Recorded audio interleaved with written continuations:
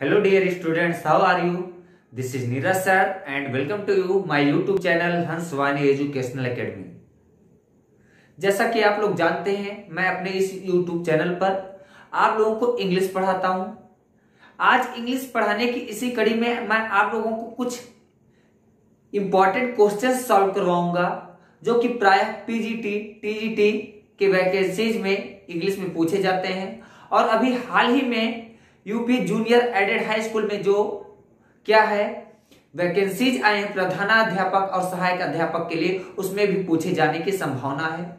तो इसमें जो इंपॉर्टेंट क्वेश्चंस मुझे लग रहे हैं, उसको सॉल्व करवाऊँगा, आप लोगों को बताऊँगा। उम्मीद करूँगा कि आप लोग जो है आंसर का रिप्लाई करेंगे, यदि आ रहा है कमेंट करके, नहीं आ रहा है तो इसको अच्छे से देखेंगे और समझेंगे। और वीडियो कैसा लग रहा है, इस पर अपनी प्रतिक्रिया देंगे। जो हम लोगों का टॉपिक है, वो टॉपिक है हिस्ट्री ऑफ़ इंग्लिश लैंग्वेज क्या टॉपिक है? हिस्ट्री ऑफ़ इंग्लिश लैंग्वेज है. समझ में आया करे बच्चों? तो चलिए अब मैं टॉपिक स्टार्ट करता हूँ। आप लोग बने रहेगा पूरे वीडियो में, जिससे कि आप लोगों को अच्छे से समझ में आए।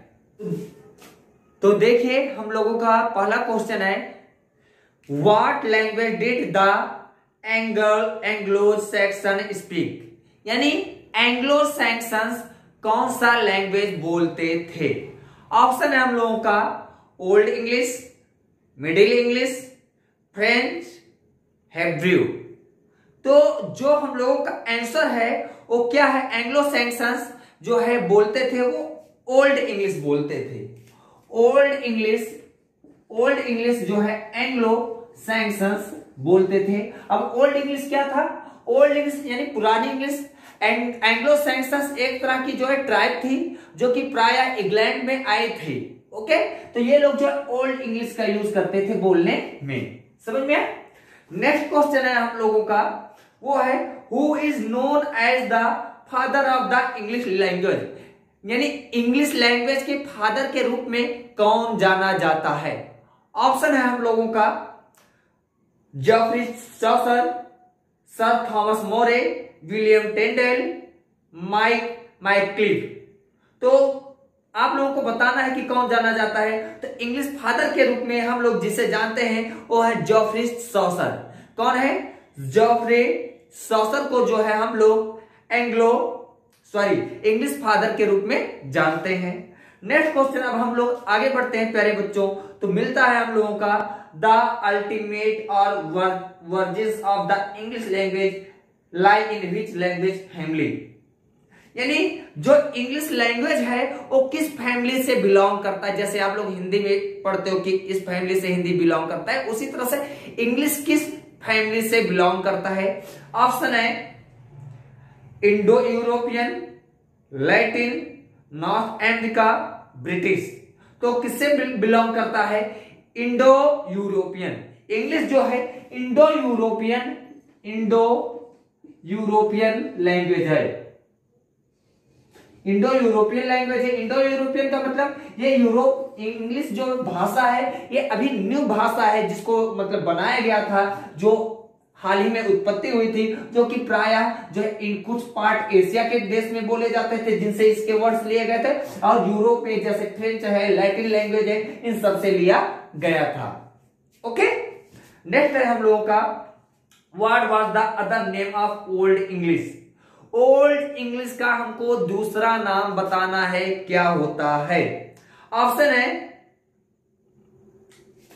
old English middle English Anglo Saxon Celtic Norman तो हम लोगों का जो है ओल्ड इंग्लिश को हम लोग जो है, जानते हैं वो एंग्लो सैक्सन के नाम से जानते हैं। ओल्ड इंग्लिश का मतलब क्या है?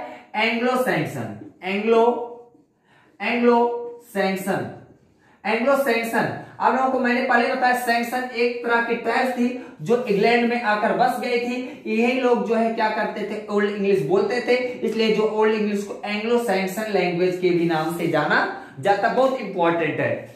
नेक्स्ट क्वेश्चन है हम लोगों का।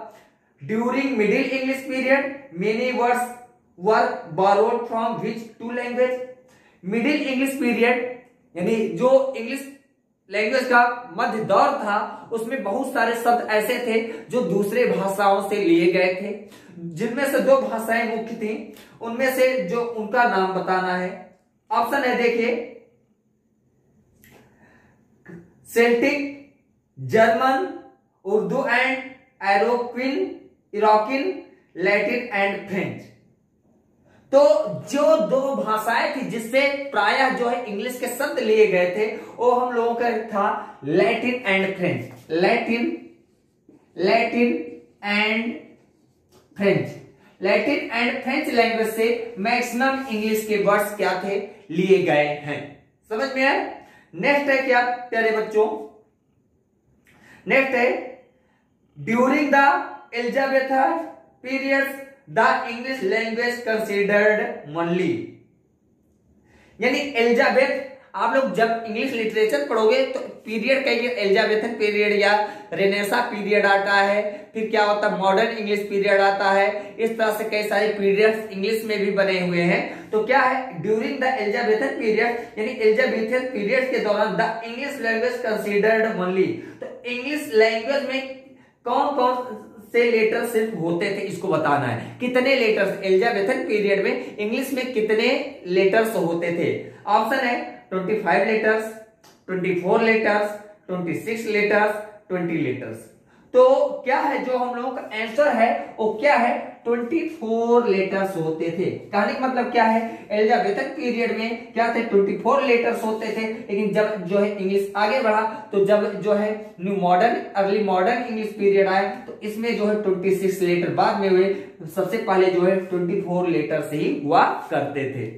ओके?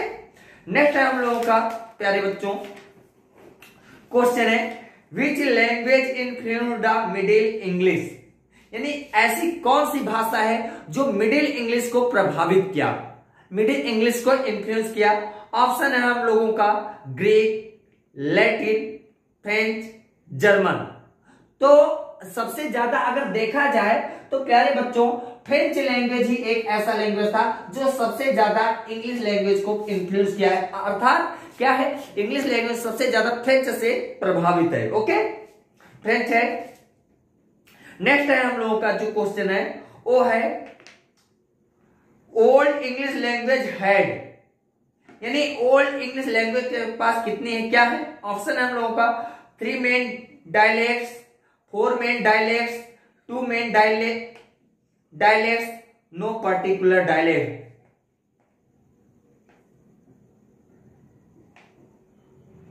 यानी इन ओल्ड इंग्लिश में सॉरी हाँ ओल्ड इंग्लिश में कितने डायलॉग्स, डायलेक्ट्स हैं तो जो ओल्ड इंग्लिश में जो डायलेक्ट्स हैं, वो हम लोगों को फोर मेन डायलेक्ट्स हैं। कितने डायलेक्ट्स हैं? फोर।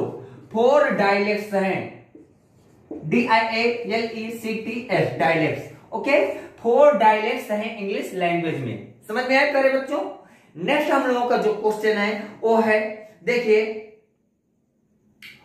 कि in ninth century who propose the primary education be taught in English नौवीं सेंचुरी में, अर्थात नौवीं सदी में, किसने ये सुझाव दिया था कि प्राइमरी मतलब एजुकेशन अर्थात प्राथमिक शिक्षा अंग्रेज़ी में होना चाहिए? नाइन्थ नौवीं ईस्वी में कौन ऐसा व्यक्ति था जिसने ये सुझाव दिया कि क्या था जो प्राइमरी एजुकेशन होता है वो इंग्लिश में होना चाहिए? ऑप्शन है हम लोगों का केपडाउन King Alfred the Great long man doctor Johnson तो कौन था? King Alfred the Great King Alfred the Great थे King Alfred Alfred Alfred the Great थे।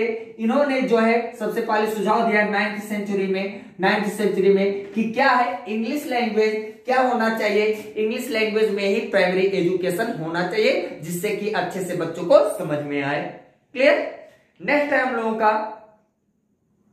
नेक्स्ट क्वेश्चन है who was the first king to address parliament in English ऐसा कौन सा पहला राजा था फ़र्स्ट किंग था, जिसने पार्लियामेंट को अर्थात संसद में इंग्लिश में संबोधन किया? यानी इंग्लिश में भाषण देने वाला पहला किंग कौन था? ऑप्शन है Edward first Edward second Edward third Edward fourth तो कौन है एडवर्ड थर्ड समझ में आया पहले बच्चों? Edward E D W A R D Edward third जो है, क्या थे? पहले ऐसे वो हैं, राजा हैं, जिन्होंने पार्लियामेंट में इंग्लिश में संबोधन दिया था। ये सब बहुत इंपॉर्टेंट क्वेश्चन हैं। जब आप पूरे वीडियो में बने रहेंगे, तभी आप लोगों को अच्छे से समझ में आएगा। और कैसा लग रहा है, यदि आप लोगों को समझ में आ रहा है तो चैनल सब्सक्राइब करें, सब्सक्राइब किए, वीडियो लाइक ज़रूर करें। नेक्स्ट है, देखिए। नेक्स्ट क्वेश्चन है हम लोगों का, कि which concept was added to words in early modern period जो अर्ली मॉडर्न पीरियड था, उसमें शब्दों के लिए, अर्थात वर्ड्स के लिए कौन सा कॉन्सेप्ट दिया गया था?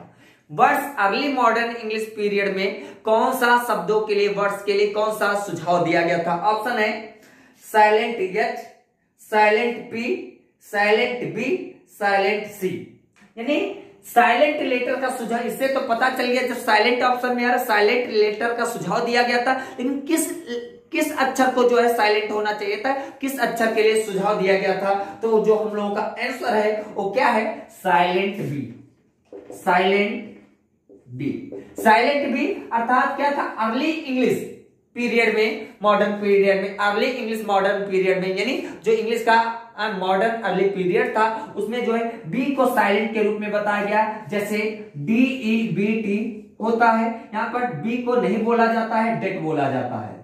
नेक्स्ट है D O U B T यहाँ पर बी को नहीं बोला जाता है, ये जो है बी साइलेंट रहता है और डाउट बोला जाता है। इसी तरह से बी साइलेंट को जो है अर्ली मॉडर्न इंग्लिश पीरियड में महत्व दिया गया। नेक्स्ट जो है, वो क्या है? Early modern English had second person personal pronoun ध्यान से इसको समझिएगा, बहुत इंपॉर्टेंट है। इसको ध्यान से समझिएगा। देखिए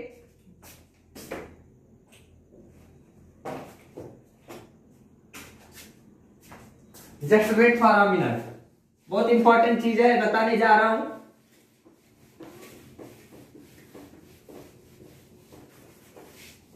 देखिए क्वेश्चन है early modern English had dash second person personal pronoun यानी जो पुराना मॉडर्न इंग्लिश पीरियड था, उसमें सेकेंड पर्सन के प्रोनाउन कौन, कितने थे? बताना है। ऑप्शन है two, three, one, four. Two, three, one, four. समझ में आया?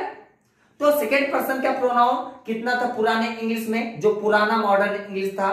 तो उसमें कितना था? जो हम लोगों का ऑप्शन सही है, वो क्या है? वो है टू कौन सा है? टू आप लोग देखते होंगे, अगर ग्रामर पढ़ते हो सॉरी लिटरेचर पढ़ते होंगे कौन तो आप देखते होंगे टी एच ओ यू आता है और एक आता है वाई ई ये दाऊ और ये ई यही दो वर्ड्स थे जो क्या थे?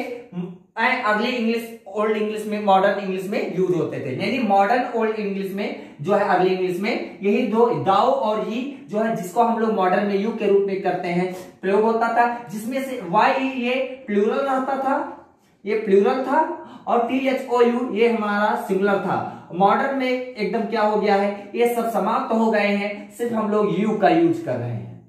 ये ये यही यही बाद में यू बन गया।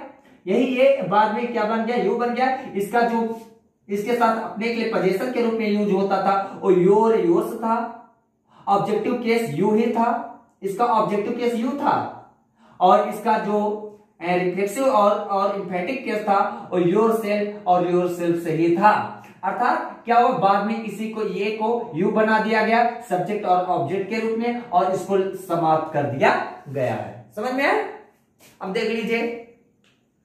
नेक्स्ट क्वेश्चन है, ये भी बहुत इंपॉर्टेंट है, इसी क्वेश्चन से रिलेटेड है। The objective form of Y E was अभी मैंने बताया है। वाई ई अर्थात ये जो वाई ई लिखा है, जिसको मैंने बतायू इसका ऑब्जेक्ट क्या था? ओके इसका ऑब्जेक्ट क्या था? ऑप्शन है yours you your none yours you your none तो अभी मैंने आप लोगों को बताया वाई ई इसका जो ऑब्जेक्ट होता था, वो ऑब्जेक्ट हम लोगों का यू होता था। इसका पजेसिव केस क्या यूज़ होता था? योर योर्स योर योर्स इसका ऑब्जेक्टिव केस तो यू था, और इसके साथ जो रिफ्लेक्सिव केस था योर सेल्फ योर सेल्फ और योर सेल्फ से यूज़ होता था। समझ में आया? तो क्या है? यू सही है। नेक्स्ट है क्या? नेक्स्ट क्वेश्चन है, देखिए इंग्लिश लैंग्वेज बिलोंग टू यानी इस क्वेश्चन में आपको बताना है ऑप्शन है इंग्लिश लैंग्वेज किस फैमिली से बिलोंग करता है?